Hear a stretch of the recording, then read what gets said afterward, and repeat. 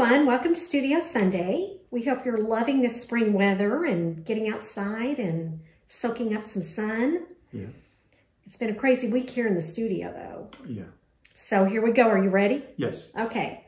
We hope all of you've had uh, have your calendars marked for next weekend. We know we do Oh, because it's Terry Moore Live. big. It starts Friday morning at 10 a.m. Central Time, and that that's when the art sale goes live.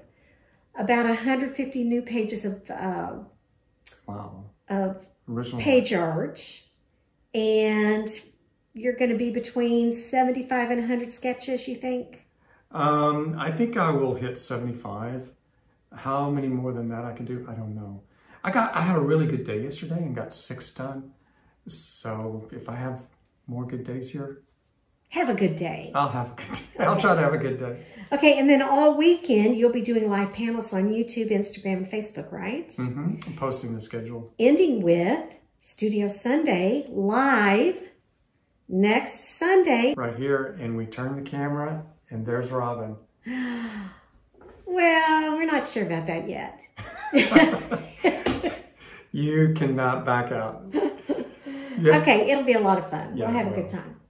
We hope to see everyone there. Don't miss this because Terry will be announcing his next project during Studio Sunday Live. Oh, I didn't know that. That's exciting. You, you, you better get busy and come up with I gotta something. think of one. Actually, no, I'm joking. I we have we've already. Don't say we. Yeah, Don't drag me yeah. into this. I'm I'm all in. I'm all in on the next project, and we can tell you what it is. Okay, drum roll, please. The serial omnibus shipped from the printer on Friday. Hallelujah. After three different delays, there was a COVID spike where they shut down the plant, there was a paper shortage, and then they had, after that COVID um, spike, they had a lot of employees that never came back. Oh gosh. so it was just chaos over there for a while. Oh, anyway, we haven't seen the book yet, so who knows what it looks like. anyway, we're preparing in the warehouse so we can get these right out to you guys. There are boxes and bubble wrap everywhere. I mean, it is ridiculous. we have book supplies everywhere. We expect the books in a week or so, and then we'll get them right out. If you miss the Abstract Studio version, retailers will have the hardcover and the softcover in stores in mid-April. Good. I don't have an exact Wednesday yet, but it'll be mid-April. And that's not an April Fool's joke. That's real. If you have moved since you placed your pre-order in December, please give us a, a shout out so that we can uh, change your address. Or whoever lives in your old home will be enjoying Zoe and all of her adventures. I like that. Maybe we'll get some new readers. Yeah, maybe. I'll, I'll take them however we get them. Anyway, I'm just saying these books are limited at 650. So, and we sold 650. So there's no replacing it if it goes to your old address and doesn't come back to us. Be careful. Yes. So be sure to get those new addresses into me.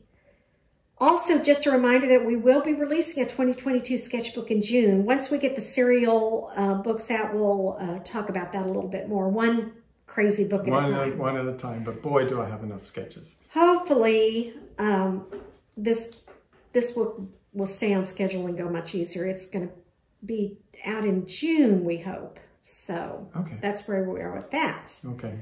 Uh, in convention news, we'll be at South Carolina Comic Con April 9th and 10th. That's coming up. Yeah, I'm going out in public. In, and that's in Greenville, South Carolina, and it's a Saturday Sunday show. This was a show that we had agreed to do in 2020, and so we're making this up for them. Uh, and we hope you guys come out and see us. Mostly Terry, not me. No, I mean, people want to see you because they don't see you enough. They see me anywhere. Oh, and you're also scheduled to do San Diego Comic Con in July and Baltimore in October. Yeah. So that will be it for the year. We hope you guys can make one of those three shows. one of three shows in 2022. Okay, that's all my news. Do you have anything to add, Mr. Moore? No, that was all very exciting, and I got to go home and process that now. Okay. Well, then let's get on the hot seat. Yeah, okay. These two questions, uh, let's do our first is from Todd Ferguson. Hi, And he asks, has Terry ever considered or would he consider, instead of doing serialized issues, doing a collection of short stories like Stephen King does from time to time? You know, but illustrated. One big graphic novel, but like 10 short stories in it. I'd imagine you could have a lot of fun with that. That would be a lot of fun. And I have been thinking about doing short stories um, in one form or another. So thank you, Todd, for kind of like poking that. I, that is on my mind. But that's not what you're doing next. No, Okay. it's not. Clearly not. Okay. okay. So that was an easy question. yeah, that's a good idea. Thank you, Todd. Thank you. Second question is from Michael Colin Glass. I hope I didn't butcher your name. Here's a good question. Who are who are your influences? Love and Rockets I can see. Who else and what comics do you recommend that are defining? Um, actually, there's a Love and Rockets story. You never read Love and Rockets. Right. I, I, I've never really read it or followed it. Um, It, because Love and Rockets was out when Strangers in Paradise first started, and you didn't want to look at his work or their work to um, have it bleed over into yours. So you Right. you didn't really read it. No, when I started comics, I had already tried some other forms of art. My problem with, say, for instance, when I tried to do comic strips was that I hero worshipped the be- the best cartoonists. So all of my work looked redundant. You know, it looked like I was. You could see them in my work. So when I got to comic books, I didn't look at anybody. I just stayed in my own world and did my own thing. Um, I if I cite influences, they're going to be from comic strips like Alex Raymond, um, or like Steve Canyon, that strip, Peanuts. Um, it may be hard to see Peanuts in my work, but it's there. Uh, and I also love the classic illustrators from the magazines, um, whether it's James Montgomery Flagg or Chandler Christy, um, all those guys, Gil Elvgren. That's who influenced me. Uh, the comic strip uh, Apartment uh, 3G. 3G. That was a big influence. Uh, Alex Toth uh, did cartoon strips for uh, some movies and things like that. Uh, those kind of things influenced me uh, when it came time, my turn because I just wanted to be a storyteller. So I wasn't looking at necessarily the craft of comic books. I was just thinking, okay, I'm just going to do like a storyboard. Here's here's my story. Here's how I board it out. Here are the key moments and the in betweens, and I'll use my old influences for my art and kind of bring my basic cartooning level up as high as I can. That was my only art goal. So why were you looking at uh, these older cartoonists On or purpose. artists instead of Current. yeah when you started? I did that on purpose because the current guys are already in the market.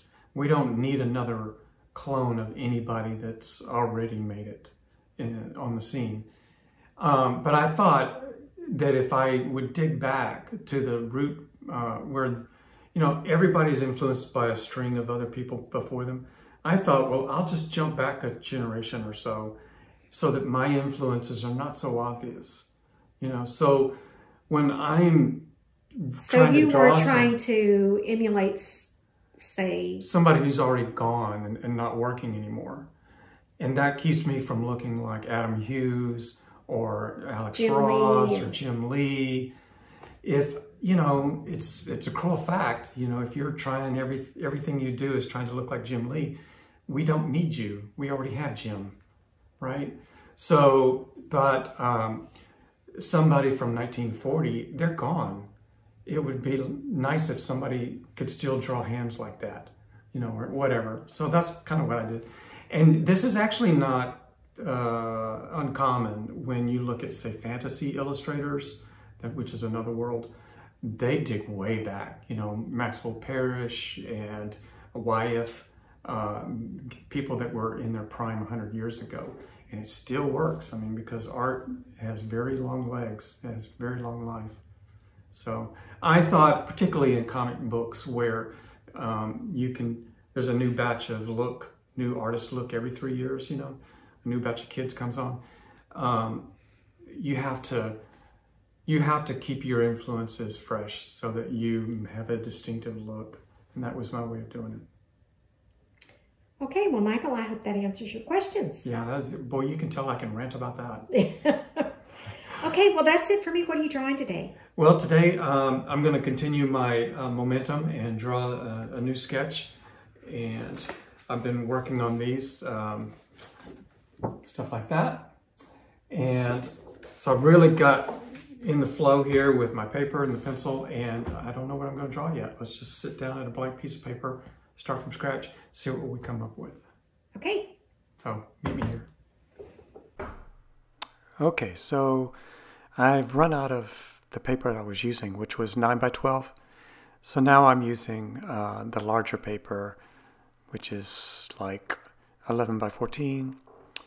And I always bump the camera like that to get started. And what I did was I took a 9 by 12 baseboard from the last sketch pad I had, and I just marked off the measurements off the corner, the bottom right corner. That helps me out a lot. Um, I'm trying to keep all these sketches at the same size, 9 by 12. So what I, what I do first is take my faithful mechanical pencil, the green one that I've had forever, and I just kind of loosely you know, mark off the face and the head and the hair that I'm going for.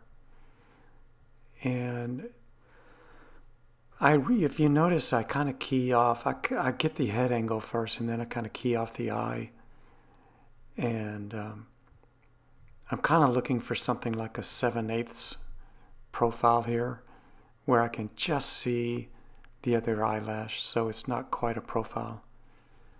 It can be tricky to draw that angle, but if you get it right, it looks cool. Because you can get that other eyelash over there and stuff like that. If you get just profiles all the time, it looks like you're just drawing the backs of a coin.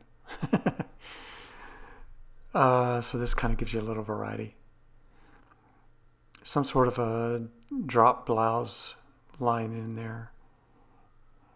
And then once I get, the, I feel like I have the basic measurements correct with the mechanical and all those loose lines. And um, these days I'm using these Blackwing, Blackwing pencils. Um, I found that when I was using my Faber-Castell green pencils in the um, heavier tones, like in the Bs, 4B, 6B, 3B, they were smudging really easy. And these Blackwing pencils are, you know, a classic pencil. They get the dark line, but they don't smudge as easy as the art pencils do. I have found them to be more forgiving. And they come in two um, weights right now. They come in this gray pencil, which is pretty darn black. And then there's a black uh, barrel pencil. So there's a gray one and a black one. And the black one is even darker, and I've been using it for hair, like, you know, brunette hair and things like that, or bold outlines.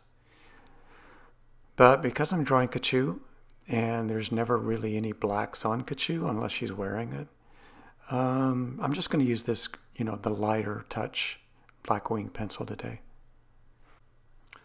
So what I'm doing here is getting the uh, uh, defi very defined outline going, um, locking in the profile lines, and then only doing a little bit of shading. Um, this is not really the pencil I'm going to use to shade with because it does uh, kind of leave a granular uh, gray tone. I'm going to switch to a lighter pencil to do the shading because the, the granules of lead on the paper are, will be finer and it will look smoother.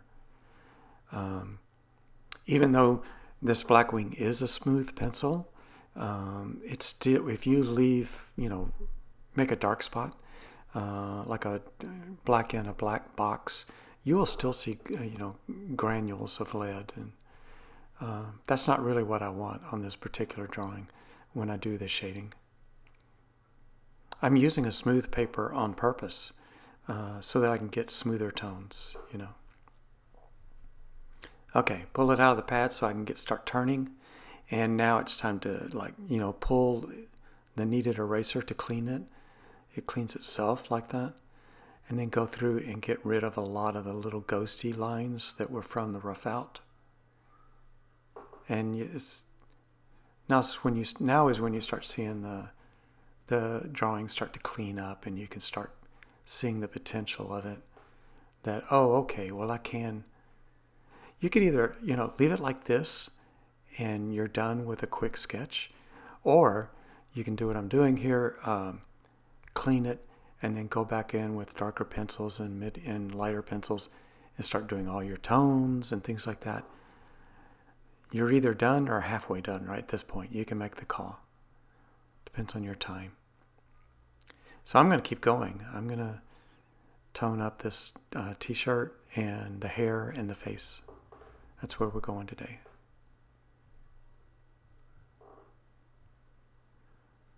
That pencil in my left hand is an A, uh, 2B. So I'm using it to go in and just kind of get a medium tone.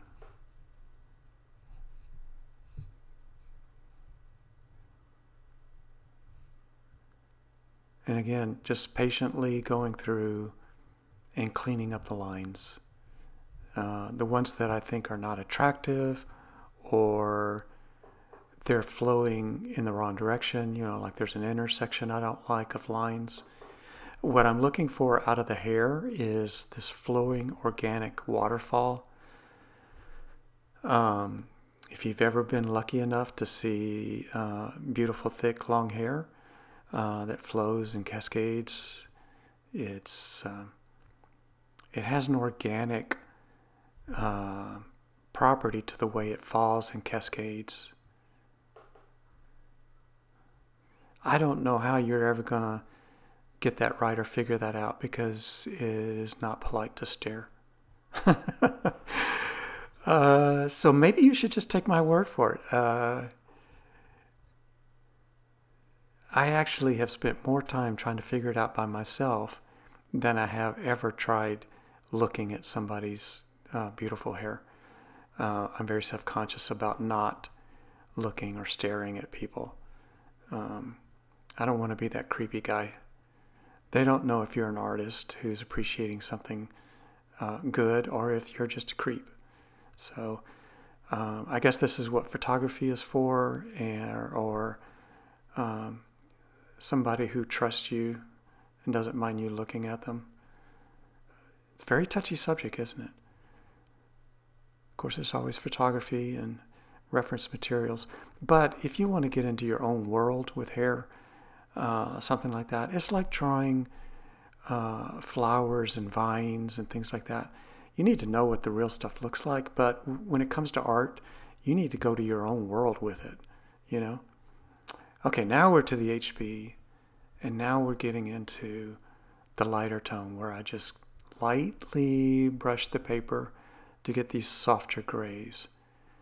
And they don't seem very dynamic as I'm making them, but they add up.